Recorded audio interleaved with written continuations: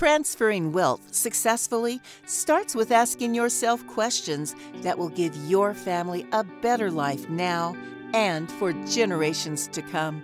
In this podcast, financial professionals John and Michael from Copper Beech Financial Group guide you through eye opening questions to help you discover the truth about your wealth. Now, on to the show. Hello and welcome to the Truth About Wealth with John and Michael Parise of Copper Beech Financial Group. Gentlemen, how are you this morning? Doing well, Eric. How are you? Hello, Eric. Doing Hi, great. Michael. Hi, John. I am I'm doing fantastic. I'm I'm really excited. You have brought Tim O'Rourke back to the show again. Uh, this is number three. This is the Tim now holds the record for the most times being yes, guest on the Copper Beech uh, uh, crew here. Tim, welcome back to the show. Hey, thanks, Eric. Appreciate it, man. Glad to be here. Yeah, absolutely. So, guys, what are you talking about today?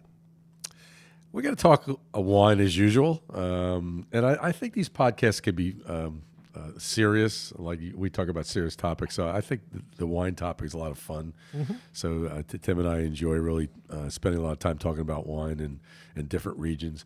And the last podcast, if you listen to it, we focused on France um, and how great that region is to produce some of the finest wines in the world. And I thought today we would focus on Italy because those are the two regions that are uh, become my favorite regions uh, for, for you know for the wine quality.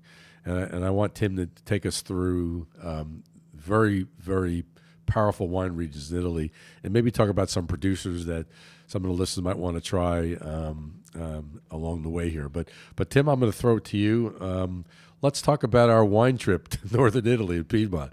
Uh, let's start in Piedmont and work our way south uh, on on in Italy and, and the wines they uh, they produce.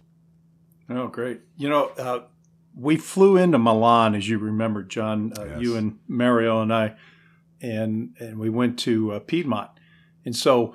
Piedmont is this northern region, kind of the top of the boot if you look at the at the country of Italy, and it it's primarily the uh, the Nebbiolo grape is grown up there in a region called Barolo and Barbaresco, which are the two regions that we went to. There's 20 total primary or what I would call dominant wine regions in Italy, and um, Piedmont would be one of those.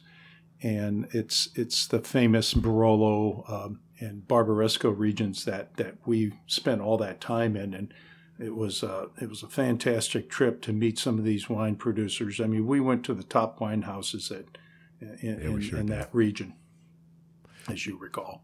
Eric, real quick, I have to tell you a funny story. I was a designated driver in Italy, which you have to drive on the opposite side of the road. Tim was my co-pilot. My brother Mario in the back was just being a royal pain, and it was it was hysterical. They were driving me crazy trying to find these these wineries because they're talking about making wrong turns. We had a good time finding these uh, these wineries. But to Tim's point, some of the finest wineries in the world are in that region. So uh, I, I, just wanted to throw that out there. We had a lot of fun driving around. Oh, sounds like a great time. And, and I want to tell the audience something real quick.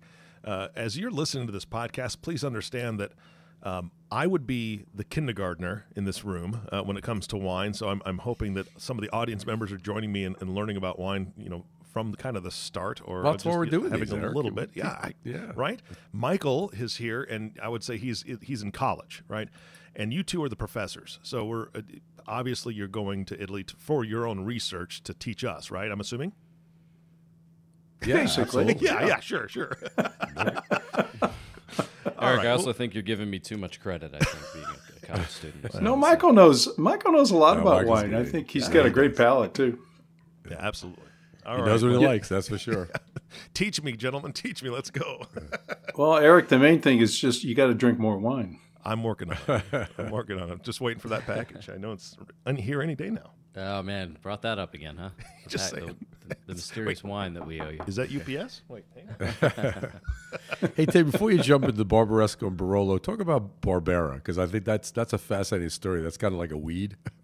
talk about how the farmers and the and the northern Italians started with that particular um, um, grape. Well, a couple of the places we visited, John, as you recall, they were talking about that. They actually told us yeah. a story that Barbera's uh, was just growing wild in the fields, and so they, when they started making wine up there, you know, centuries ago, they started making that. You know, if you stayed at a hotel or whatever they, you know, they called those back then, hospice or something, uh, you you would actually get a glass of or as much Barbera wine as you wanted. It was part of the meal, part of the you know if you had dinner there, you, you paid your coins you did to, to stay there, and then you got a glass of Barbera or two or barrel, who knows, and the food included. And so it's it's kind of grew up there. Barbera is a big you know fat, a powerful wine, and uh, it's uh, indigenous to that region, and it, it really evolved actually Barbera's been grown there longer than anything, and so it's uh, it's kind of been the that, the foundation of the whole region. Yeah. But but really the, the the, the grape up there is Nebbiolo, as you know, and that's uh, the grape or the wine of kings is what the Barolo has been known for because of its because of its complexity, its stature, everything about that particular grape uh, is is is really powerful. And it, uh, nebbiolo is, comes from that nebbio uh, word that means fog. So when we would get up in the morning, sometimes, John, as you recall, there'd be a, a fog or a mist kind of over the vineyards, and that's kind of what protects the grapes from getting too much sunlight, and and keeps kind of nurtures it into the day. And then as the fog blends off or wears off a little bit, you know, the sun uh, hits those grapes a little bit more and slowly ripens it versus uh, a high heat. So anytime you're looking at one of the important things is vintages, you know, that you want you don't want to have a really warm vintage. I think in in northern Italy in Piedmont it's probably a lot safer, but you don't want a real hot vintage. Like 2003 was a very hot summer, a hot fall. Those grapes tend to be a little bit more ripe and more alcohol in the in the wine production and so, what you want to do is drink those a little earlier. Where 2004 was a, a softer year, a cooler year. Uh, same with 2005. So, you kind of want to stay away from those really hot summer vintages. And you can read a lot about this in Wine Spectator or different wine magazines about which vintage was warmer, which one was which one was cooler. Yeah, Tim, talk about the difference of Barbaresco and Barolo because I always found that fascinating. Yeah, so it's a it's a microclimate difference, John. If if you remember how it kind of went down into a valley into where it changed into Barbaresco versus Barolo, and uh, the soil content is a little different. It's a little sandier. But it's the same grape, correct? Excuse me. I'm sorry. Same grape, same grape, Yeah. yeah. Same grape, Nebbiolo. So uh, it, it and it's a different marketing kind of place. Kind of like uh, when you go to Tuscany, there's uh, Chianti Classico, which is a region, right, that we're going to talk about in, in, a little bit.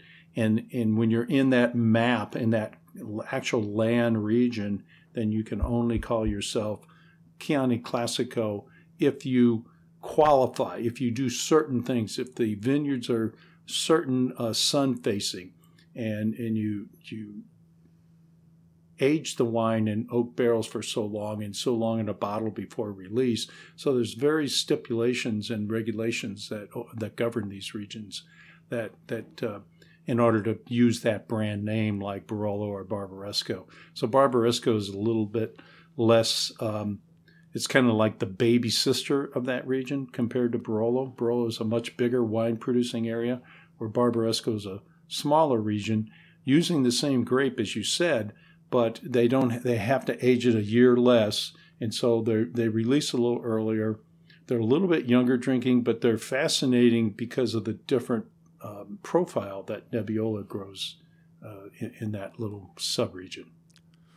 Now, how long they both have to age? You want to walk everybody through the process of aging? Yeah, three years in Barbaresco and four in Barolo. Then when you get to the uh, Reserva level, it goes up a year usually in the bottle and and also the quality. Uh, when you get to a reserva, they're trying to put out a, you know, they try to handpick the grapes out of the the picking that they think are the riper ones or the or the better ones, and then they're able to make a, uh, you know, higher quality reserva kind of wine. When you talk about um, when you should drink the wine, and, we we didn't talk about this in France particularly, but because I was I was in Italy with you, we spent a lot right. of time talking to the producers about uh, when a wine is bottled, how long how long does it take for you, that wine to mature? And I think there was a ten year time horizon. Am I mistaken? It was ten years before wine hits its peak, where it's at the top level of that of that grape. Is that is is that the is that the fact pattern? Yeah, pretty much. I think that's up to yeah, everybody has a different opinion. You know, when we met with Giacomo Conterno, remember at his winery, he was talking about wow, he prefers 15 years. yeah. Of course, you know, they go down and pull a bottle out right out of the cellar. It's a little different from you and I, but um, yeah, most likely I would say anywhere from eight to 10 years is a good point in Barolo or Barbaresco. You can start drinking them a little younger but I would say eight to 10 years in Barolo for me anyway. I like them 10 to 12 years even. You and I had a a 12 year old, what was it, 2012 Flaccianello uh, the last time we were together that was eight years old that was really still too young. But it was awesome. Boy, it was good. yeah. So if, so if I was going to go into a, a, a, liquor store or a wine store and, and wanted to buy a Barolo or a Barbaresco, and had 2010 on the label. That's probably the the the peak of that wine. I should probably buy that, but I'm but it's probably a little pricier. Am I am I am I right about that? Because it's yeah, it's going to cost you a little bit more. So the older they are, the the more pricier potentially. Yeah, but you know it's hard to buy a 2010 right now. You can go to the internet. One of the services yeah. I like to use is called Wine Searcher, and you can load that app on your on your uh, cell phone. I use it all the time. Yeah. Yeah, and you put in the you know maybe a region, just put in Barolo, and it'll tell you, um, give you a, a, wide spew of different possibilities of where you could buy that wine around the United States. But uh, generally speaking, you're not going to find a lot of 2010. So in a good year like 2010, it's uh, let's see, 2016 is uh, the one that I would tell everybody to buy in Italy right now. I think throughout I, I all of Italy and France, yeah, 2016 is going to be a great year to to buy some wine and, and store it. You know, put it away for a few years and start drinking again three for three to four years from now. All right, let's move further south, uh, Italy. So the next region that we would talk but, about. But wait, before be... we leave there, okay, I, I, want to focus on a couple producers that I particularly okay. like, and it, and it depends on your obviously your your financial situation, but uh, Bruno Giacosa, who did pass away recently, but the Giacosa name up there is like one of the top ones, along with Gaja. Um, those are those are the high level producers that you, are going to pay a lot of money for, but they make unbelievable wines. So uh, Giacosa wines, Gaja wines, those those are the kind of the top of the heap. If you want to try something more let's say higher quality but affordable, you might want to try a Clerico. That's uh, Domenico Clerico, who Domenico passed away a couple years ago as well, and somebody that I met a couple times, and he was uh, basically a, a, great farmer. You know, the great wine producers are are good in the field. They always say great wines are made in the field. So uh, Domenico Clerico is a good one.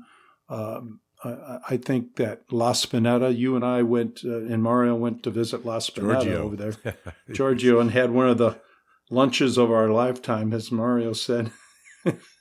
Six we, hours we were of, in high cotton. drinking and talking. Yeah, we were we were at high cotton. yeah, fascinating, fascinating. Yeah. So so uh, and, and, then from there, there's a lot of little producers in Barolo and and uh, Barbaresco, you know, that you you can pick up for 50 60 dollars a bottle that are, are, fantastic wines that you open up and let them breathe for an hour maybe before your dinner and uh, I, I, think you would be you know really impressed with the, the level of wine but when you're talking about the giacosas and and also the giacosas and gajas you're probably talking about 200 to 500 dollars a bottle type of stuff Ouch. where you can get in the Iliola Ataris and and some of the um, even even Giacomo Conterno or Aldo Conterno, where we spent some time, you know, those wines are still going to be up around 100 to 160 bucks a bottle, um, which I would classify as a, a, higher cru level, you know, a better wine.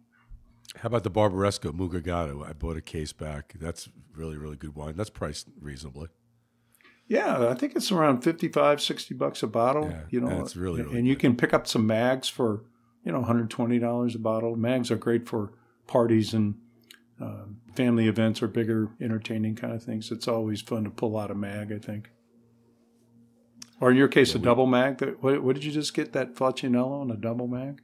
Double mag, yeah. Ouch. it was, it's going to be good, though. That's for sure. uh, all right, let's Michael's going to get some of that, I think. I uh, hear you. He already has a bottle. About time. so let's let's drift down to, to, to the next region, and, and Tuscany rings rings a bell to me. Um, sure. Uh, is there a region before Tuscany that you might want to uh, talk about that uh, that has some interesting wine? Umbria has some interesting wines. That's kind of near Tuscany. It's kind of central. Again, Umbria and Tuscany are kind of the more popular regions, and and they're going to grow uh, the Monte Montepulciano. Um, there, there, there are Merlots grown there. You know, a lot of grapes have been, or varietals have been introduced into both Tuscany and Umbria that are uh, what they call super Tuscans, or they're not the traditional Sangiovese. Sangiovese is the indigenous grape there to that region, and and so you a lot of the wines are based on Sangiovese based kind of uh, yeah, 100% or higher blend. Oh yeah, right. But yeah. but but but that's a that's a real central kind of Italy uh, area that the Umbria and Tuscany both are. You know, everybody wants to travel to Tuscany if you get a chance. If you haven't been there, you need to go see it. It really is a fascinating place. Yeah, we'll be there in June, hopefully. Hopefully, knock on yeah. wood. The Valpolicella um, wine is one of my favorite. Um, talk about that that particular wine along with the other ones. Is that is because that's I love that wine. That's one of my favorite in that region. Yeah, so so Valpolicella is um, is really a different region. It's grown. It's uh, it's like it's a big, powerful wine. A lot of times, what they'll do is they'll pick those and dry them out a little bit to give it a, a drier characteristic where the wines are um, also Amarone, which is they actually take the grapes after picking and lay them out on, on these mats in order to dry some of the moisture out of them. So it makes a much more concentrated wine with a lot more flavor and uh, big, powerful wines as well. I think they go yeah, with a lot of heavy meats powerful. and yeah. yeah, stuff like that. But yeah, I mean Valpolicella. I think if you're going to have a big red sauce, you know, for a meal or something, you want you might want to look at some of those producers in there that make some good Valpolicella. You can get it under hundred dollars. That are really good wines too, very affordable. Yeah, I know when you when you talk about fifty, hundred dollars bottles of wine, a lot a lot of listeners probably say, "Well, I, I really can't afford that that that level of wine." Um, but I know you and I both know there are some good quality wines for twenty to thirty dollars that yep. are smaller producers that are from that region that they could try. I, w- I would probably recommend them to uh, pick up wine wine spectator or or some wine uh, book and, and do your own research because you could probably find or a wine searcher you could probably find some really good quality uh, wines for 20 30 bucks a bottle that's that's more appealing to, to, some people. But but you're right there. You start getting to the uh, hundred dollar bottle wines there's a there's a massive difference from my standpoint on the on yeah the let's talk let's talk about Brunello because uh, Michael yeah. I think that's your favorite region as as we talked about before. Mm-hmm. I do. I like a lot of I like the Super Tuscans. I do like the Valpolicellas and and Brunellos I like as well. So yeah I I, I like my Italian wines for sure. Well you uh, you fit the profile, my my man. it's in my blood. it's in your blood. Can't help it. You know. Um, so when when you think about Brunello, right? It's it's still the Sangiovese grape, but it's a different clone. So it's a little thicker skinned grape that has more structure to it.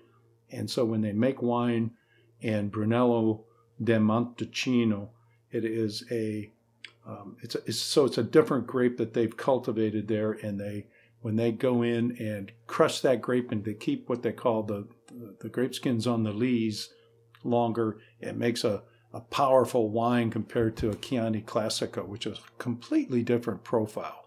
And I think there's last my last trip there, there are 260 wine producers in um, Brunello in that little region, and it surrounds the town. So it's this hill that goes all the way up to a peak of the town where the town is on top.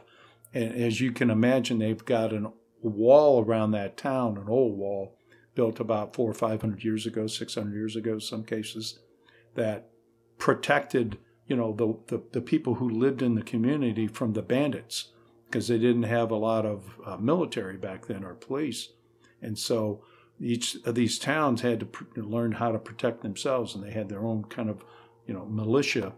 And so that particular region, because of the soil and everything, um, they, they grow a different brand, you know, much like we were talking about on our last podcast about Italy and the Barbaresco and the Barolo regions.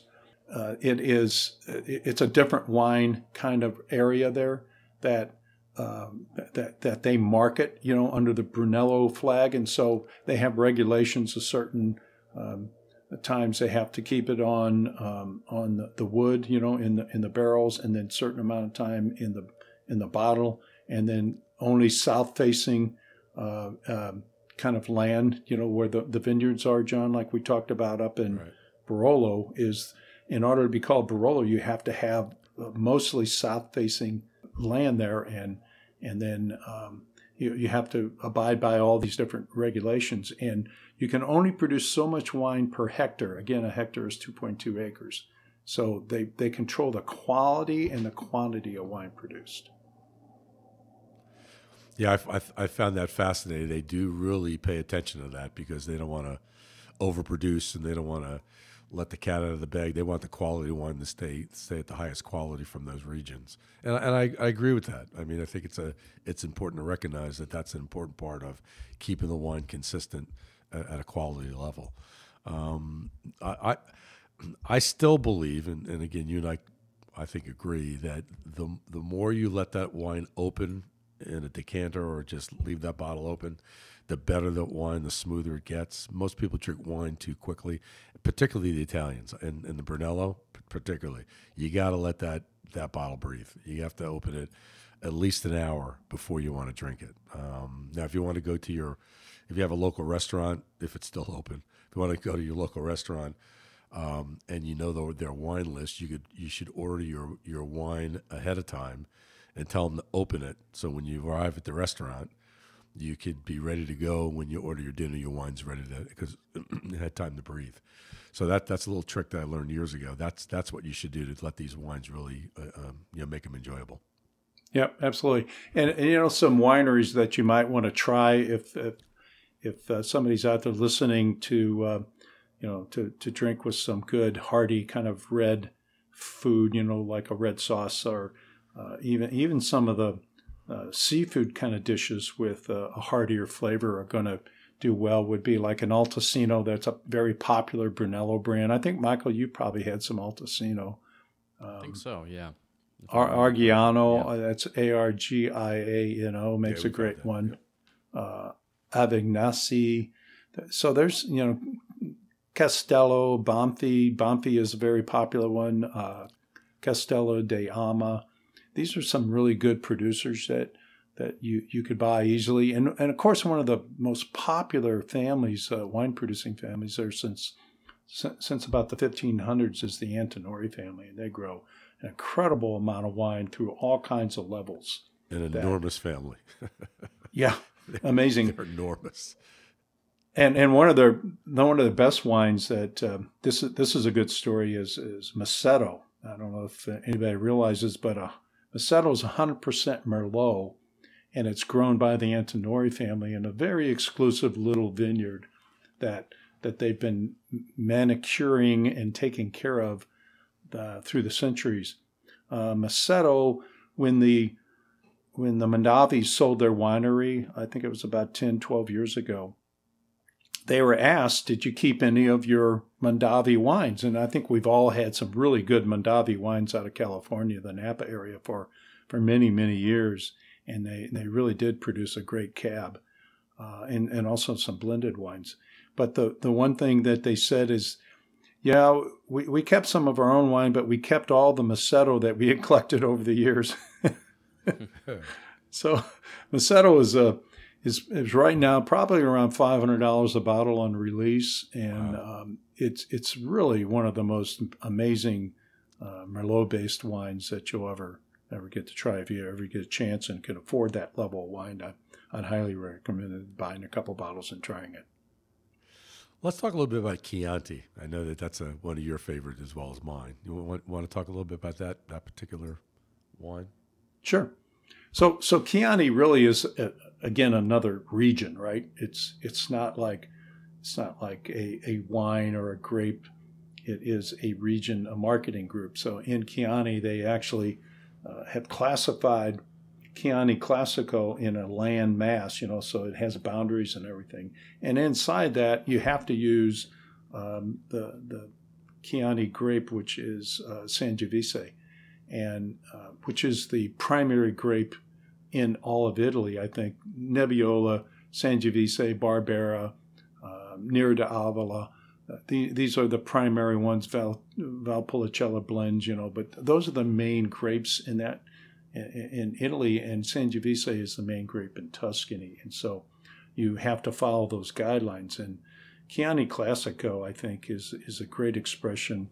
And if you follow the food, John, in that region, you're going to see that those wines, uh, the food was really made around those wines because they the, the acid in the wine really goes with a red sauce.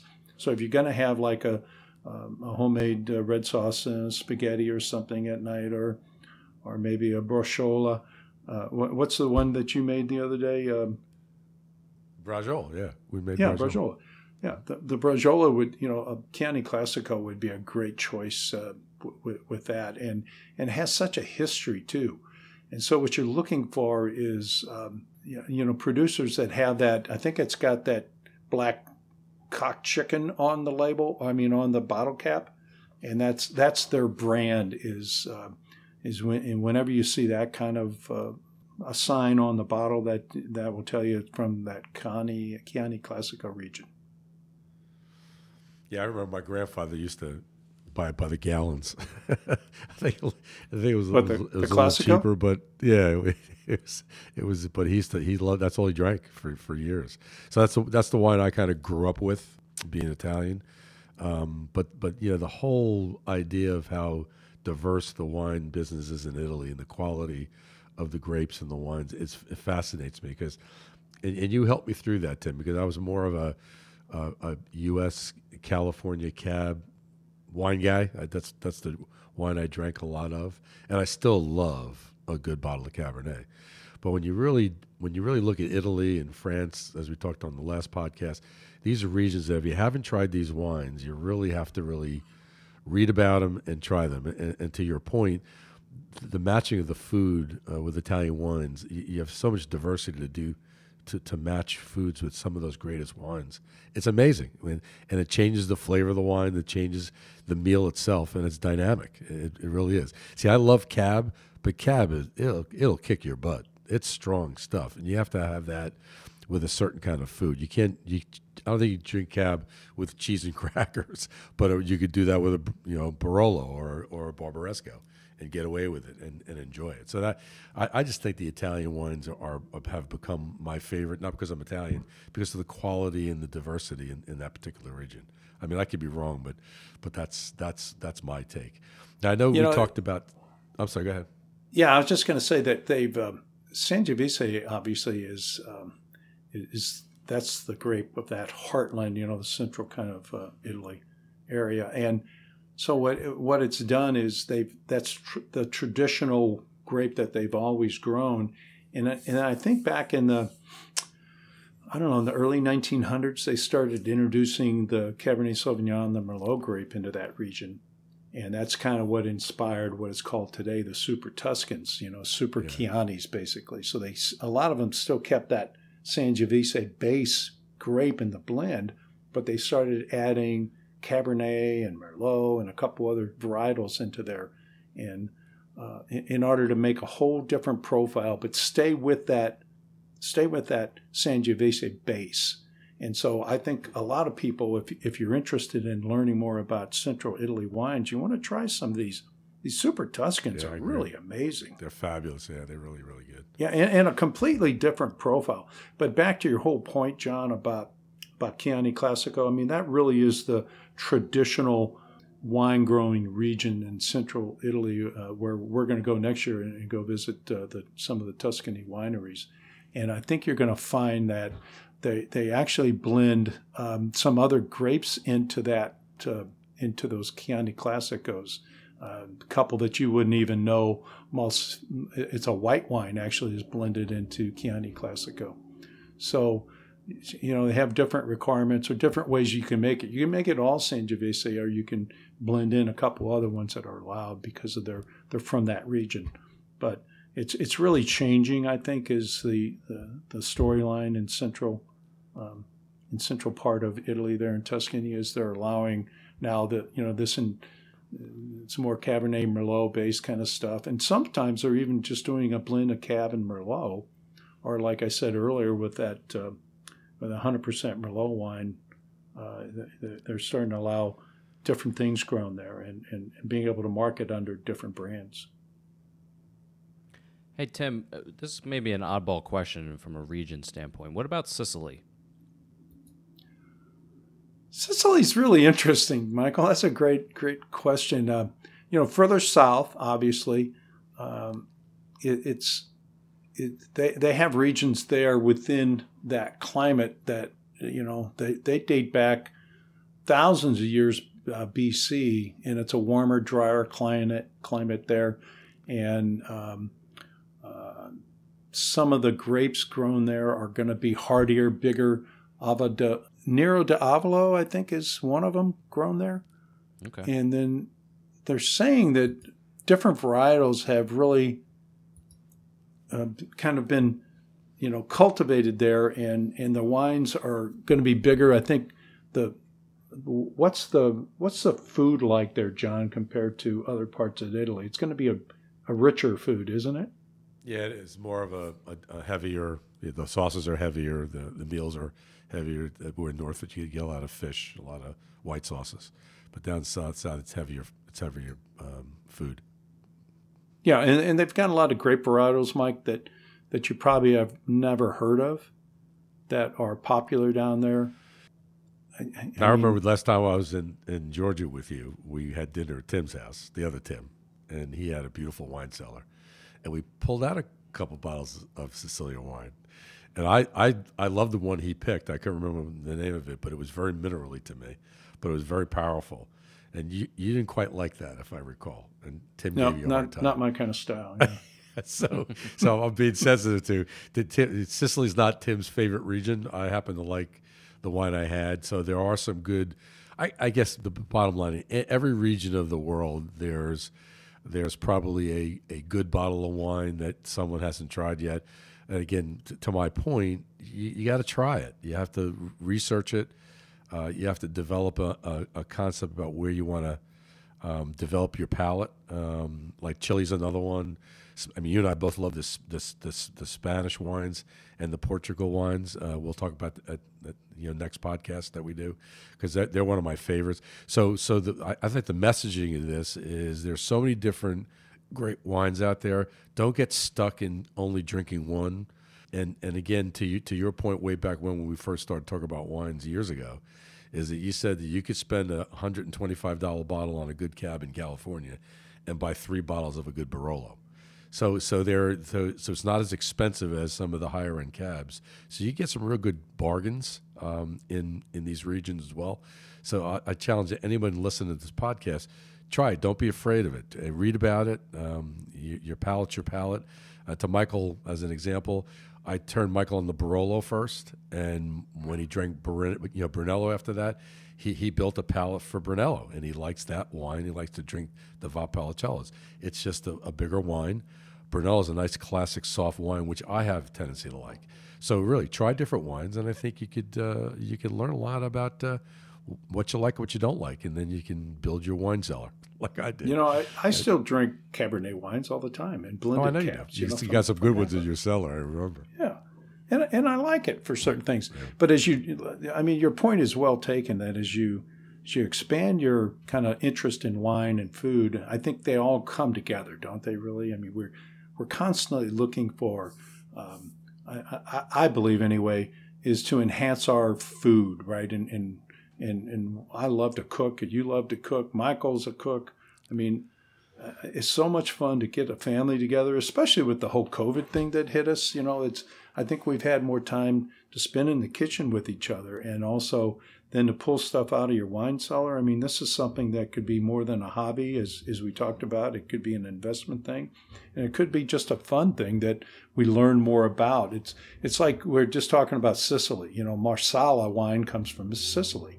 You cook with Marsala, but they also make some Marsala that is very drinkable that you could you could have with a meal, you know, and so so there's wines from all over the, the, the world that I think open up your your all the possibilities. You know, so we talked about California. Obviously, is one of the you know it's the fourth largest wine producing uh, area in the world, country in the world. Um, but when you look at Italy and France, I mean, those two alone make I think something like seven or eight times more wine than all of the United States put together. Yeah, that's so that's, that's a lot. Yeah, yeah. I mean, there, there's a lot of wine out there from uh, just from Italy and France alone, and then we'll talk about Spain another time. I don't think we have the time to go into that, and um, so so I would encourage everybody to try. Uh, some Sangiovese grown out of uh, central Italy, which is the Tuscany or Umbria area, and then also encourage you to try some Nebbiolo. Just don't tell anybody about Nebbiolo and Barolo. Yeah, you have to keep that quiet, right? You got to keep a secret here. keep a secret, or people will buy a lot of it. We want to keep it. We want to keep it private to us. But anyway, That's a, right. a funny story we, before we, we end. Word, Tim. we don't want to happen what uh, goes on in Bordeaux and Burgundy, you know, where you can't afford it anymore. A, a, a, funny story. I was I was at my daughter Alicia's uh, house a couple weeks ago, and I see a wine book on her coffee table. She bought a wine book. You spoiled, you killed my daughter. She's looking at the buy the Montrachet. She loves the white Montrachet, which is kind of expensive. But, but anyway, I love, so I love she's Michael's wedding. Yeah. Michael, remember your wedding when Yeah, your dad was bought all that wine? And, were- and the girls are going just- nuts over the white Burgundy? Yeah, well, I was I was going to say I think I, I don't know if it was a Barolo or Brunello that we had. I don't know because I didn't have any of it. Because by the time I was finished saying hello to everybody, I asked for a, a glass, and the uh, waiter, I guess, says, "Oh no, that's all gone." And then they pointed over at your. It was a. Barolo, yeah. it was a Barolo, I remember. So hey, I'm listen, Tim. We're, glad we're- you enjoyed it. Tim, we're running short on time. Anyway, I wanted to thank you again, Tim, for uh, for your expertise and uh, and I, I think these podcasts can be fun, and I think hopefully everyone enjoyed this one on. But also, it's also very educational. I think I think wine's a fascinating uh, product, uh, or you know something you could really sink your teeth into and enjoy reading about and drinking along the way. Um, so, with that said, Tim, thanks very much again for your time, and um, and uh, let's uh, let's get the next one for Spain and Portugal. How's that? Sounds great. All right, guys. All right, en- thanks, Tim. Enjoyed it. Bye bye. Again, this has been fantastic. I'm still trying to figure out how exactly to spell Nebbiolo, even though we're not supposed to talk about it. Um, maybe anyway. So, there's so Two many good- B's, Eric. Two B's. Got it. Perfect. Thank you so much. Uh, this has been fantastic. Again, I love the fact that you, uh, well, obviously you're providing a tremendous education on wine, but you're you're really giving a lot of options for any any person to get into it uh, at at reasonable rates to be able to try and find out what they like first, and then when they do find the the type of wine and the region and the type of grape and all that jazz, then they can you know step up to that hundred dollar bottle of wine that you're talking about, John, and, and really uh, treat themselves. So I think it's fantastic. I appreciate the time that you guys spend educating all of us, uh, especially me and the any audience members that are in my kindergarten category. Okay, and I just want to thank you so much for all the time that you spent with us today. That Hey, my pleasure. R- Really enjoyed it. Yeah, absolutely. And of course, last thank you goes to the listening audience. Thank you so much for tuning in and listening to the Truth About Wealth podcast with John and Michael Parise. If you have not subscribed to the podcast yet, please click the subscribe now button below. This way, when John and Michael come out with a new podcast, it'll show up directly on your listening device. This also makes it much easier to share these podcasts with your friends and family. And I'm going to challenge you, as the listening audience, I know John and Michael are always interested in what you think and what you want to learn about. Uh, it doesn't always have to be a hardcore subject and, and very, very technical. It can be about wine, it can be about other things as well. So please reach out to the team, email them, and let them know what you want to learn about because I'm pretty sure they'll be open to some suggestions. Again, thank you so much for listening today. For everyone at Copper Beech Financial Group, this is Eric Johnson reminding you to live your best day every day. And we'll see you next time. Thank you for listening to the Truth About Wealth podcast. Click the subscribe button below to be notified when new episodes become available. The information covered and posted represents the views and opinions of the guest and does not necessarily represent the views or opinions of Copper Beech Financial Group. The content has been made available for informational and educational purposes only. The content is not intended to be a substitute for professional investing advice. Always seek the advice of your financial advisor or other qualified financial service provider with any questions you may have regarding your investment planning. This material is for informational purposes only. Neither APFS nor its representatives provide tax, legal, or accounting advice. Please consult your own tax, legal, or accounting professional before making any decisions. Copper Beech is not affiliated with American Portfolios Financial Services Inc. and American Portfolios Advisors Inc.